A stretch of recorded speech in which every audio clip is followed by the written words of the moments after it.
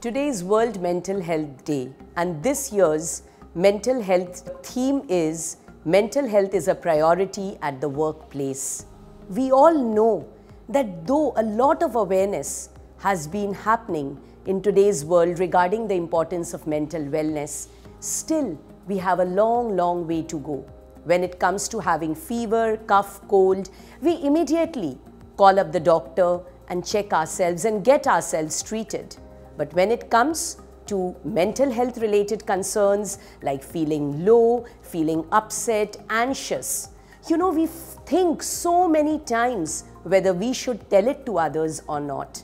So, today on World Mental Health Day, it's very, very important to encourage each and every person to come up and talk to give them that platform to verbalize their feelings. Because the more you externalize your stressors, the more you talk openly about your mental health, the more you start working towards its wellness.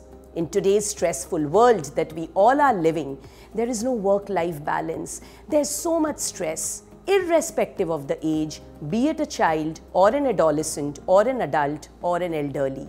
So it's very, very important to take care of our mental health, be it at the workplace, be it at the home front.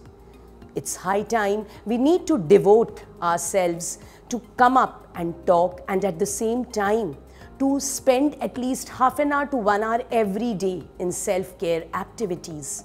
It's very, very important to nurture and invest on our well being. And if you are having any kind of mental health related issues or any kind of mental health distress, do not shy off. Speak freely. Contact with a psychologist and a psychiatrist and get yourselves treated.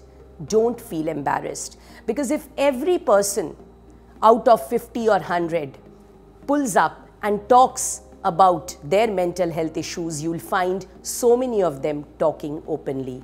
So that one voice is required. So let's all come up, join our hands together and spread this awareness that no health is possible without mental health and let's make mental wellness a priority.